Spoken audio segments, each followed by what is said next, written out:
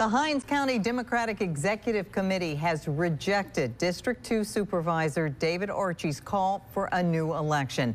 Now, 12 News senior political correspondent Richard Lake joins us now. And Richard, kind of walk us through what has been a weeks-long affair now. Yeah, absolutely. So Supervisor Archie lost re-election to Anthony Smith by over 1,800 votes in the August 8th primaries. Now, it was after this loss that Supervisor Archie claimed that there was a, quote, high-tech election heist and petitioned to have a redo election held.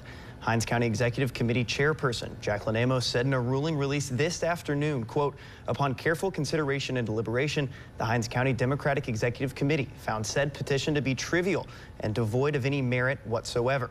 District 2 Supervisor-elect Anthony Smith says the people have spoken. Supervisor Archie, on the other hand, says he was not surprised by this ruling. Hinds County Democratic Party Executive Committee, of course, do not want to admit to their mistakes.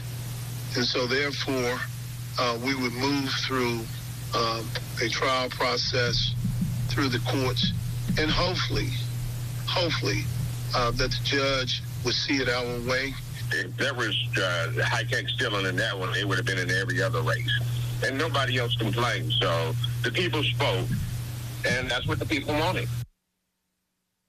Archie filed suit against party officials, election officials, and others. On September 8th, this lawsuit alleges the Hinds County Democratic Executive Committee failed to supply the necessary materials needed to conduct a ballot box review. According to Archie, he was only ever given the ballots and no secondary confirmation materials such as a voter signature book or digital thumb drives from the election machines themselves. And no date is set for that trial yet. Hinds County Executive Committee Chairwoman Jacqueline Amos is among the defendants in that lawsuit.